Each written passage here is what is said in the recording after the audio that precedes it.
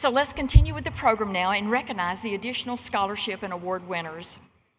I'll be announcing each of the award winners and ask that you do please hold your applause until I have provided the highlights on the background of the award, announced the awardee, and described the award accomplishment. So, three parts.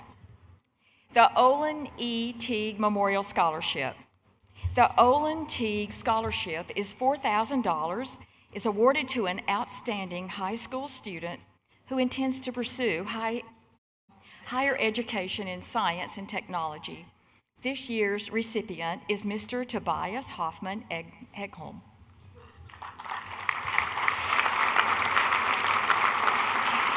A senior,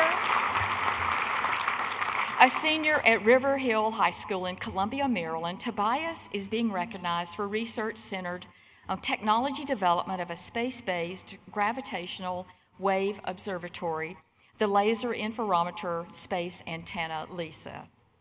LISA will detect gravitational waves and study a rich array of source, sources, including binary supermassive black hole mergers. Low noise operational amplifiers were modeled and tested as possible electronics in the photo receiver for the LISA mission. Mr. Eegholm plans to study engineering at Columbia University in the fall Ladies and gentlemen, Mr. Tobias Hoffman Eegholm.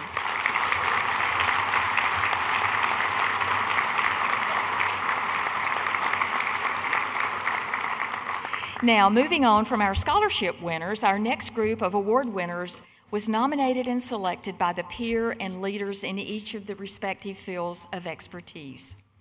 The NRO Joseph, Dr. Joseph V. Charyk Award honoring the first director of the National Reconnaissance Office, the Joseph Charyk Award recognizes individuals who have made outstanding contributions to the National Intelligence Space Program and specifically support of the mission of the NRO.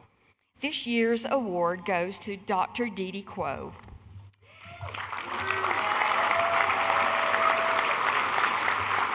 Director Director of Geospatial Intelligence Future Study Group at the National Reconnaissance Office, Dr. Kuo was chosen as the NRO lead for, quote, Mother of All Analysis of Alternatives, with the goal of identifying the next generation electro optical architecture. He oversaw analysis of millions of architectures to meet best value for the U.S. government and saw his role from solely modeling to including evaluation of utility analysis, risk, and commercial imagery. He oversaw conceptual development of the next generation radar system enhancement, coordinating the concept across executive and legislative branches, and taking the idea from initial concept to contract award in one year. Unbelievable. Ladies and gentlemen, Dr. Dee Dee Kuo.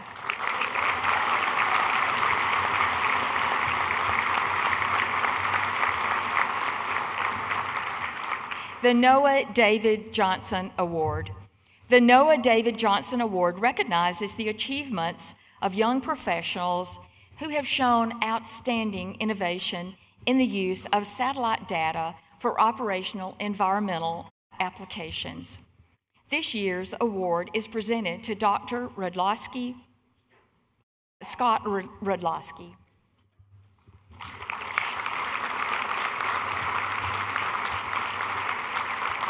A physical scientist at NOAA and the University of Maryland's Earth System Science Interdisciplinary Center, Dr. Rudlosky, is recognized for his innovative contributions to the exploitation of lightning measurements during the preparation for and during the post launch checkout of the GOES 16 geostationary lightning mapper. This includes the development of visualizations and new applications of ground lightning measurements for operational weather forecasters. This paved the way for the tradition of these highly valuable applications from GOES 16 to, into the forecaster operational environment. Ladies and gentlemen, Dr. Scott Rudlosky.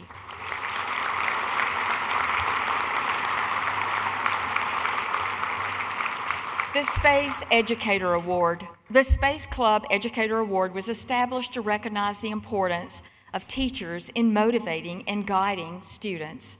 This year, we present the award to Mr. Mark Westlake. Mr. Westlake is being recognized as an outstanding high school teacher. His class was the only high school group to have an experiment in the NASA SOAR program. He was lead teacher in the NASA Microgravity for Educators program and was the Air Force Association National Aerospace Educator of the Year in 2015. He is an MIT Invent Team Master Teacher and served as one of two teachers chosen nationally as a panel member of the Academy of Arts and Science STEM Initiative. Ladies and gentlemen, Mr. Mark Westlake.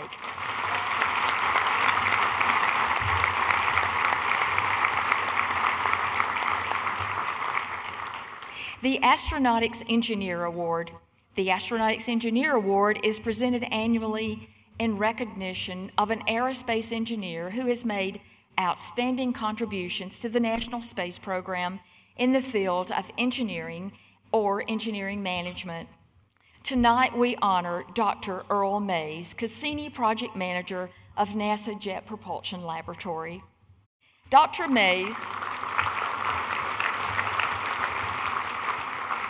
Dr. Maize is recognized for his leadership of the NASA JPL Cassini mission and his critical role in guiding the Cassini mission through its tour of the Saturn system. Launched in 1997, the Cassini spacecraft toured the Saturn system since its arrival in 2004 for its up close study of the planet, its rings, and moons. During its journey, Cassini made numerous dramatic discoveries, including a global ocean and liquid methane seas on Titan. The Cassini mission recently completed its 20 year mission of exploration with a fiery entry into Saturn's atmosphere on September the 15th, 2017. We were all there. The Cassini mission has established itself as one of the world's most successful and productive planetary missions. Ladies and gentlemen, Dr. Earl Maize.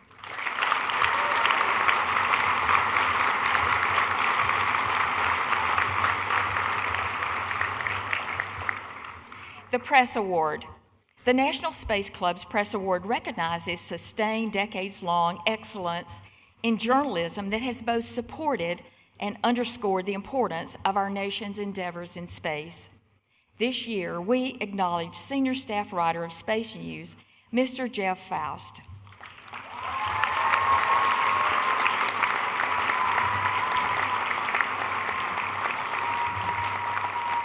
Mr. Foust is recognized for nearly two decades of being at the forefront of reporting about all aspects of space activity, especially policy and budget issues and the rise of commercial space activity. His coverage spans a wide range of important developments that touch everyone interested in space, and his reporting is based on a dedication to knowing his subject and subject matter. Mr. Foust founded spacetoday.net in 2001 and followed that success by starting the Space Review in 2003. He continues to publish both of these today in association with Space News. Ladies and gentlemen, Mr. Jeff Foust.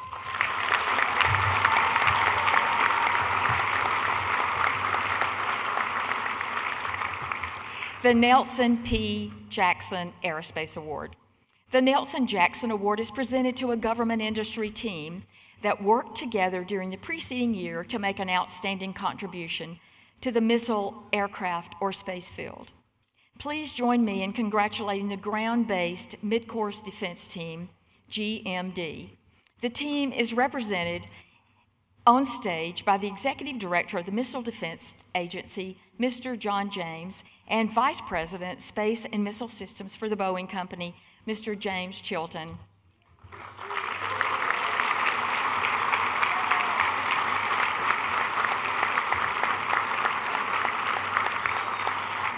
The U.S. military and industry team has conducted a missile defense test aimed to protect the nation from a targeted attack.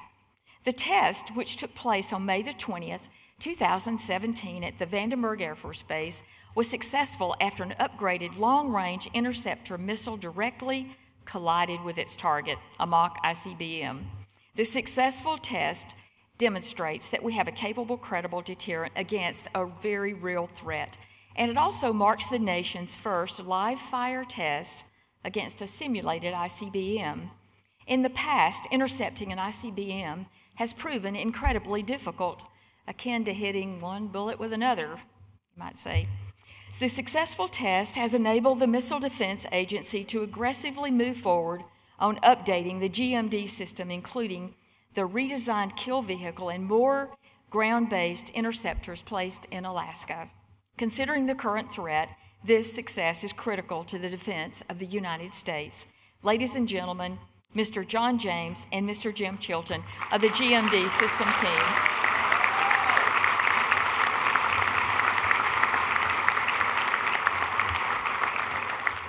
The General Bernard Schriever Award. The General Bernard Schriever Award honors the father of Air Force space and missile programs. The award highlights excellence in military space operations and acquisition. Today, we recognize Lieutenant Colonel Laura Robinson, Chief of Space Force Structure Plans for the Space Superiority Division, Directorate of Strategic Plans of the U.S. Air Force Headquarters.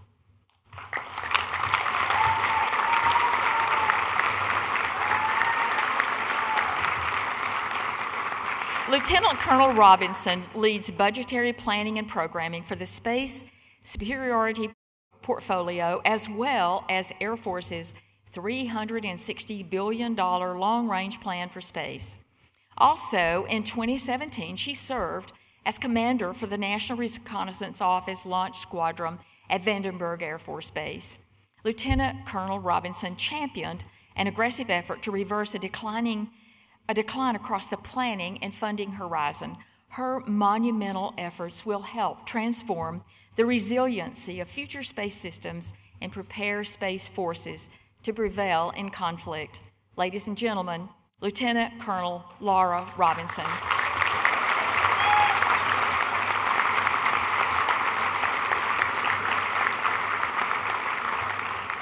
The Goddard Memorial Trophy the next individual is honored for his distinguished military career and his ongoing efforts dedicated to the national security space enterprise. Our Goddard Memorial Trophy winner, General John Hyten.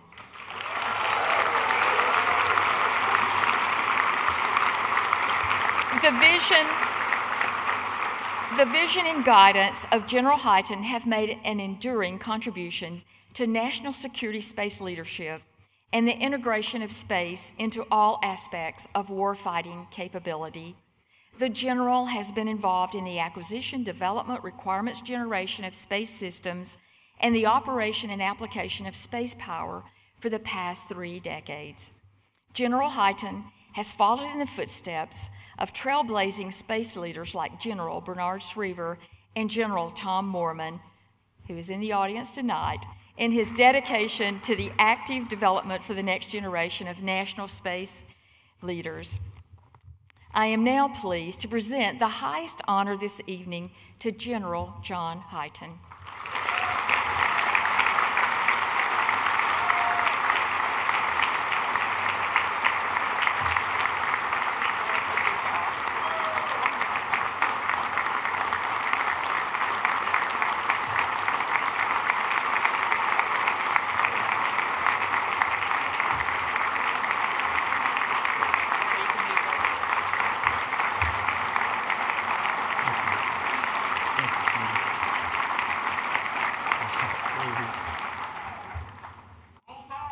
Tide.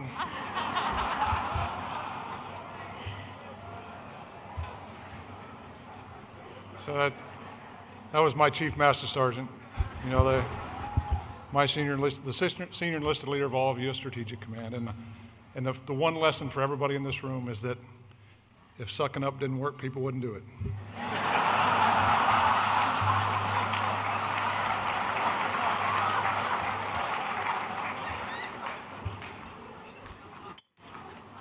So, I, I, this, this, is, this is overwhelming. It really is overwhelming for me. It's, thank you, Sandy.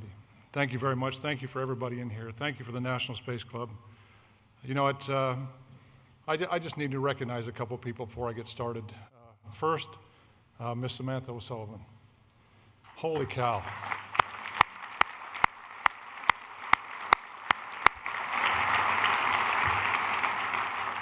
Thank, thank you for that speech. Thank you for your words. Thank you for what you've done. Thank you for what you're going to do.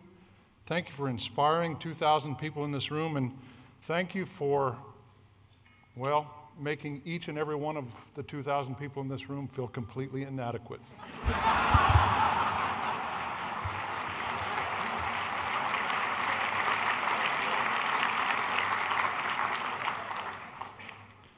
You know, this, this club does amazing things. 61 years, this is our 61st dinner.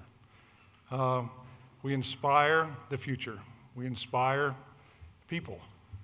This industry is the most amazing industry. And, and the other person I want to recognize tonight is Robert Lightfoot. Uh,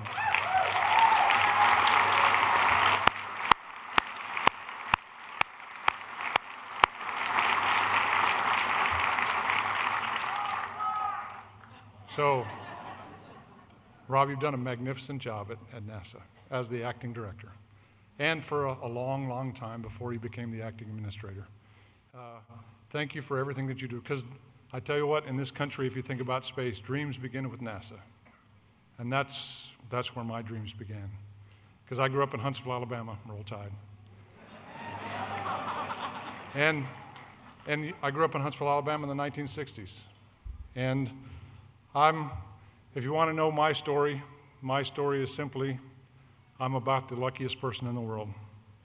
Because I'm, I'm lucky to have grown up in Huntsville with a wonderful family uh, who loved me and cared about math and science, and they pushed me to study math and science. I'm lucky to have grown up with teachers, and when you had me close my eyes, it was Mrs. Rebecca Hill. Um, she scared the heck out of me, but she, she taught me like, like nobody ever taught me before. I'm, I'm lucky enough to meet and marry my wife, Laura, the finest person I've ever met, who's sitting right out here.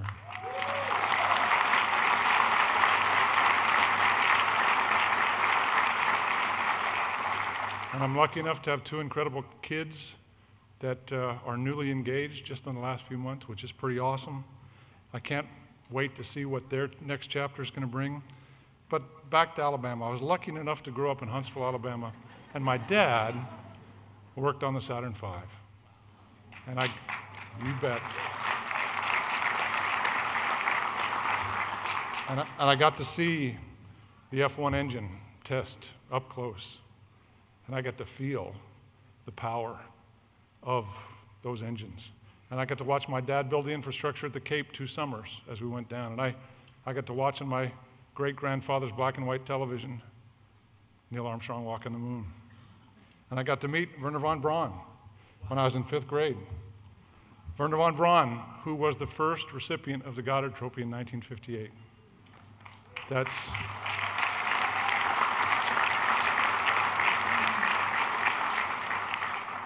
That's overwhelming when you think about it.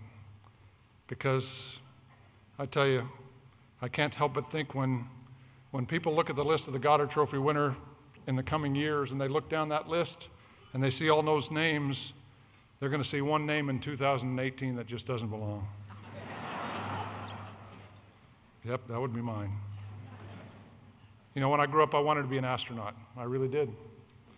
Uh, but I was legally blind. And at the time, NASA did not take blind people to be astronauts.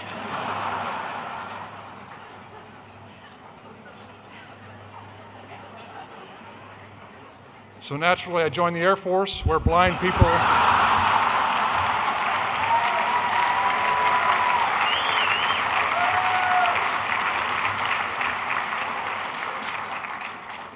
But for me, it was just a way to pay for college. And I was going to do my four years and get out and go be an engineer in the space business like my dad. But I fell in love with the Air Force. And I had friends and bosses and mentors that pushed me and taught me the business. They helped us to bring space capabilities to bear on our nation's most important mission that's our defense. And we helped change warfare forever, and the world will never go back.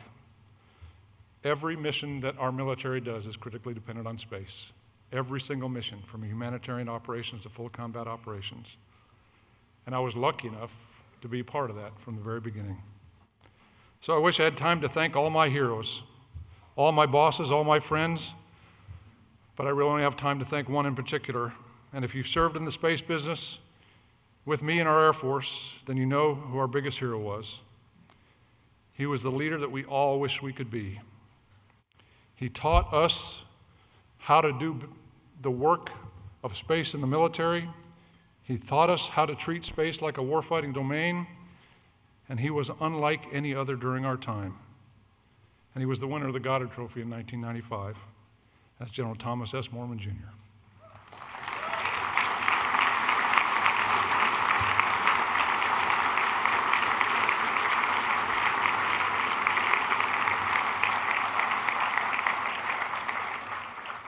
General Moorman led the way.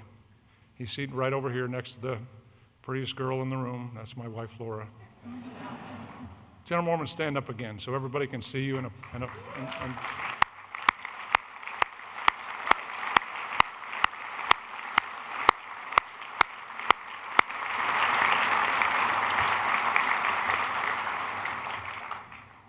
What everybody in the room needs to know is General Moorman was the best of all of us. He's the one that, that led the way. Uh, General Moorman, there's no doubt that your name belongs on, on this trophy. But I'd like to think that my name is here to represent all the military space professionals, past, present, and future, who are simply trying to carry on your legacy. So, the National Space Club, each and every one of you, thank you very much.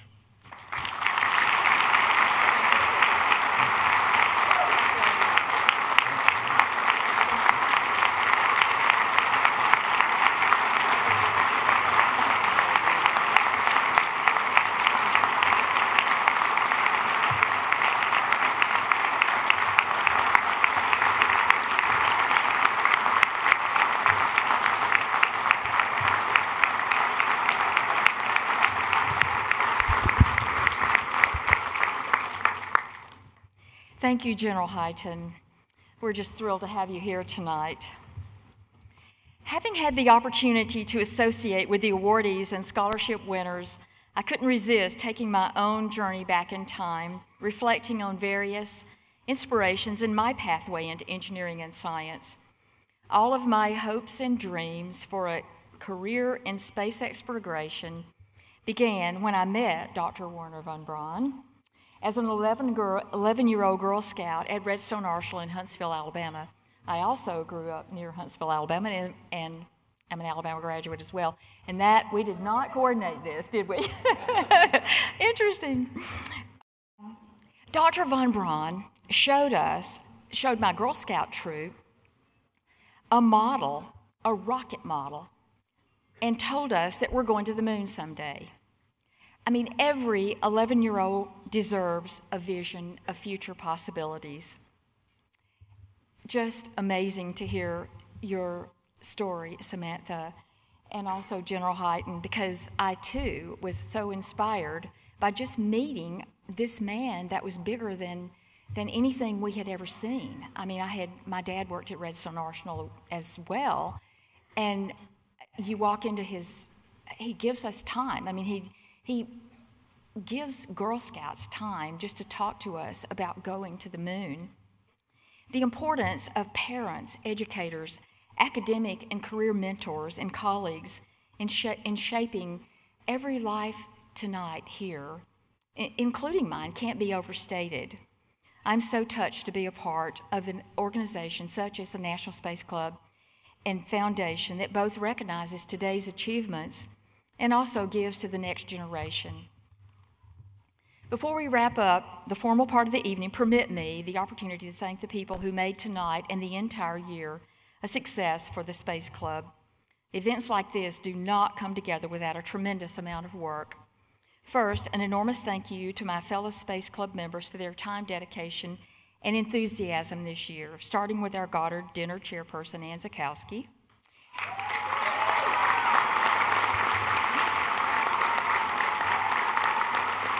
And board members Bill Beckman, John Larrabee, Susan Nelson, Mike Pritchard, J.R. Reardon, Gary Tesla, and, Carolee, and Carla Zipiri.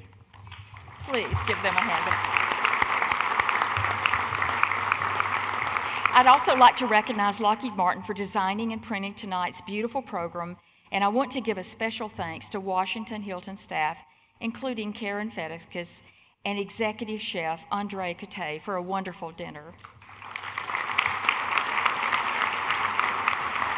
Further credit goes to the executive director, Annette Summers, Sheila Crowley, and the rest of the dedicated and professional team at Grafrida Associates. The Space Club is very fortunate to have them working with us. And on a per more personal note, thank you to Dave Thompson, Blake Larson, Ed Fortunato, Frank Culbertson, Charlie Precourt, and the other senior leaders at Orbital ATK who allowed me the time to support this great endeavor. Thank you.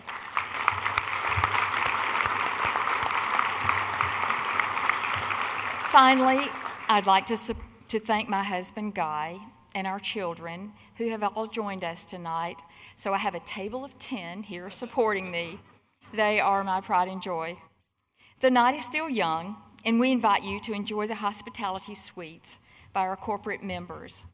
And as you leave, I hope you will take a moment to remind yourself why you do what you do. Your work supports science, exploration, the youth, and especially the many servicemen and women who defend this great country. Thank you and good night.